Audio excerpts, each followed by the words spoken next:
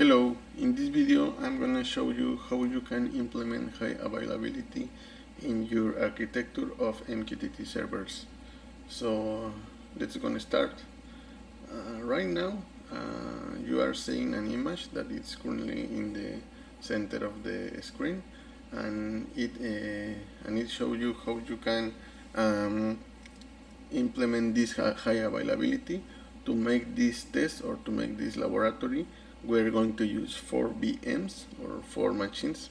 Uh, I don't know the infrastructure that you uh, have in your hands but we're going to use uh, four VMs uh, three of three of these VMs will act like uh, MQTT brokers and one machine will act like a load balancer right? So you can see in the in the image that are some post tips uh, the first contain the IP addresses that, that all of our machines uh, are set up. And the second contains the resources. And the third contains the main configuration that needs to be set up in the node 1 and the node 2 right? So let's start it. Just uh, mention that we define these resources based on some small test that we run to identify how many cores, how many gigabytes of RAM do we need. So that's our uh, suggestion to you if you want to implement this infrastructure.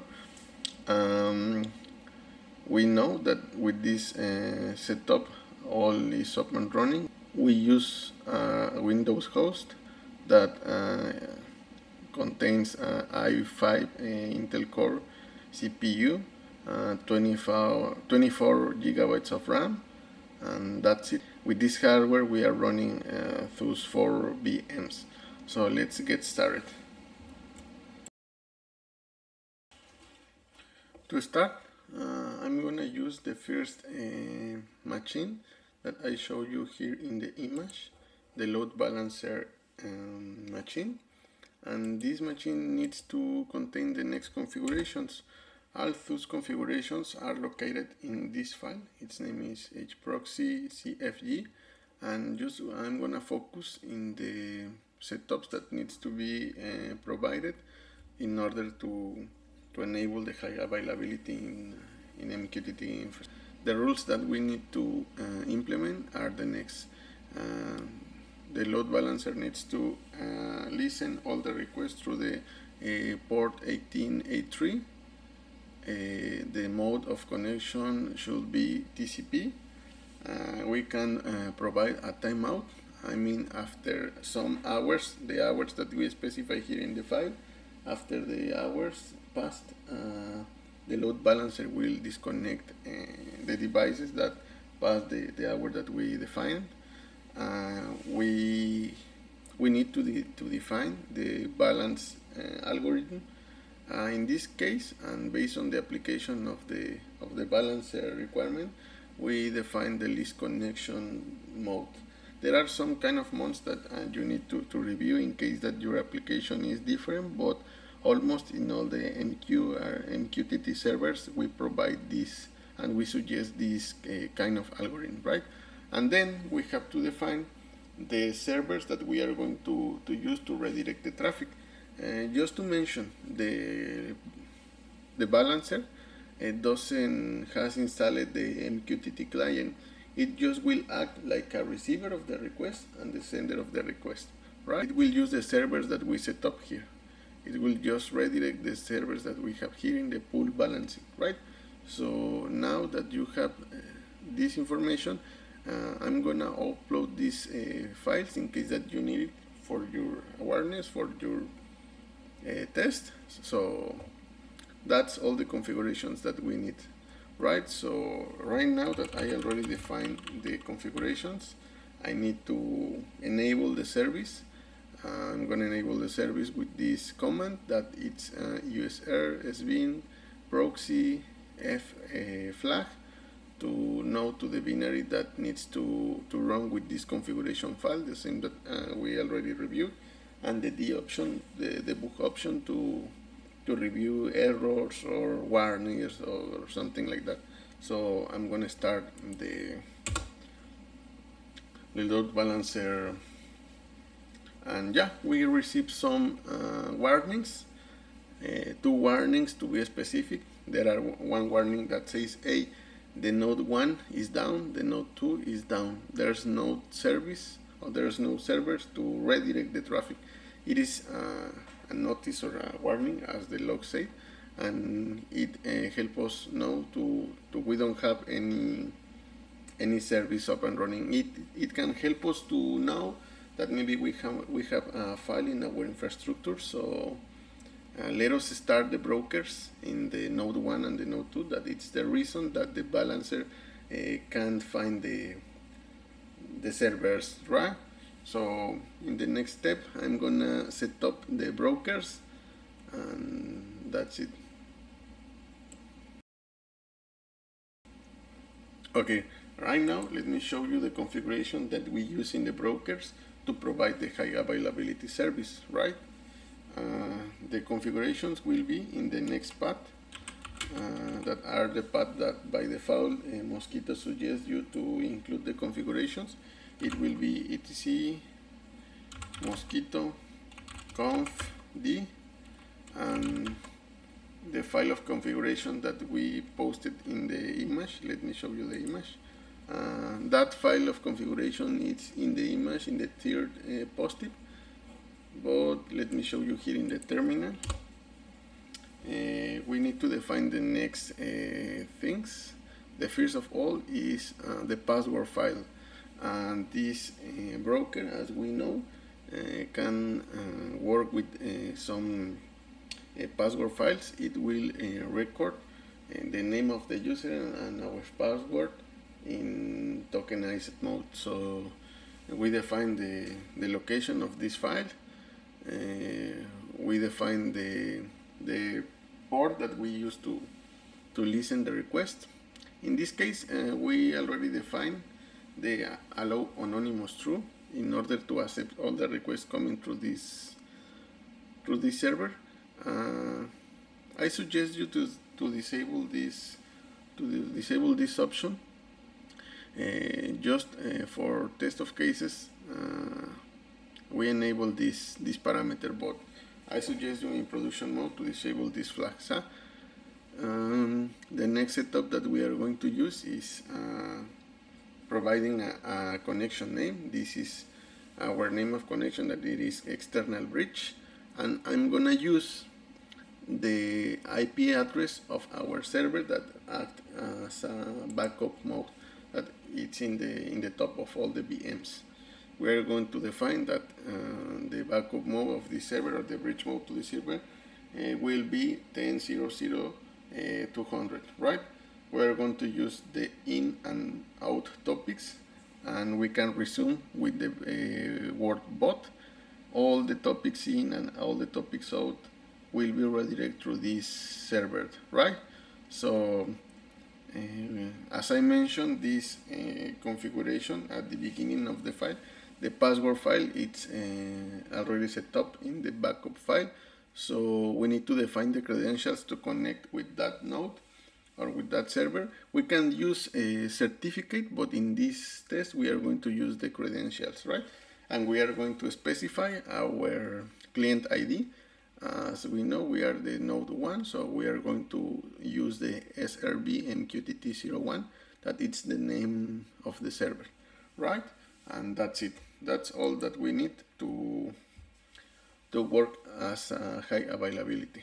Let me start the service just to to show you how can the balancer detect automatically that there is a node in the pool of balancing.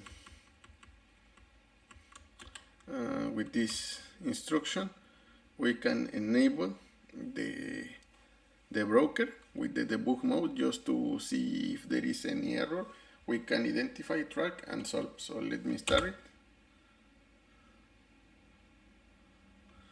okay right now if you can here see in the balancer uh, the balancer detect that there is a new server up and running and it's ready to send the request through this server, right?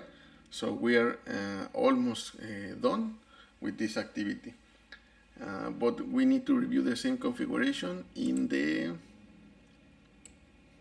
in the node 2, right?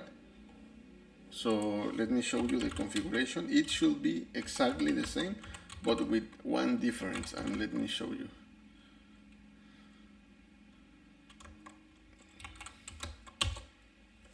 As we can see in the node 1, we have same configuration, but to identify that we have different uh, well as you can see as you can see in the as you can see in the previous uh, node it is the same configuration with the difference that we are going to use a different client ID just to identify in the broker the requests that are coming from those uh, nodes right?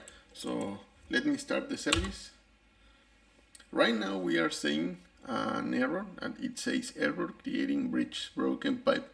And that's true because our currently our broker that act like a backup mode uh, is not running. So we can see this this error in all the logs but what we can see here is that the load balancer recognize the node that it's up and running and it's ready right now to send the request through two nodes right? So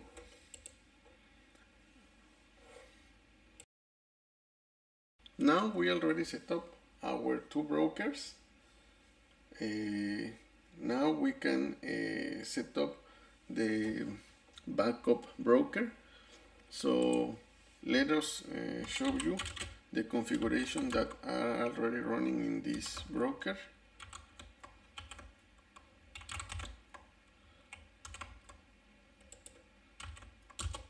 This configuration is easier than the previous. Here just uh, we can see the password file that obviously contains same password that we use in that configurations in the previous VMs contains the, the same user and we need to define the port that the broker will listen the request and that's it we can start the service uh, I'm gonna use the next configuration file that obviously changed because this broker won't act like a cluster mode just like a backup mode. So with this with this command I'm going to start the the broker. Here we can see that the broker received the connection from the SRV MQTT01 and right now all the message that we send through this broker will be published automatically here.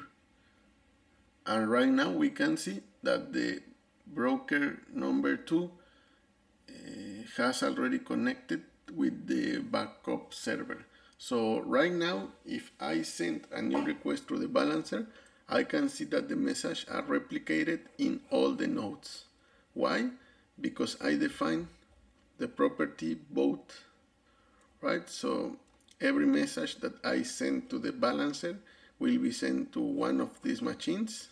For example if I send a message to the balancer and the node 1 receive the message it will send the the message to the backup mode but the backup uh, broker has already set up the configuration that replicate the message in two ways. So it will send the message to all the nodes that it's already connected and we can see the message in the three VMs. Let us try it. So right now, just to exemplify that our um, infrastructure is working correctly, I'm gonna run the script that generate the, the message. It generates message uh, randomly through the to the load balancer here we can see. Uh, we uh, we generate a message with an incremental. Uh, in the another terminal that you are seeing right now I'm gonna subscribe you to the balancer to see all the requests that are coming. So I'm gonna run the script. Here in the background you can see that the balancer is receiving the request. The two nodes are receiving requests and the backup in the same way is receiving requests if I subscribe you to the balancer I can see the message that are uh, being received by the publisher. So let me close the connection of one node just to exemplify that the high availability is up and running. Let me stop the messages in the node 2 we can see that the terminal received an error obviously because uh, the connection that was opened was closed.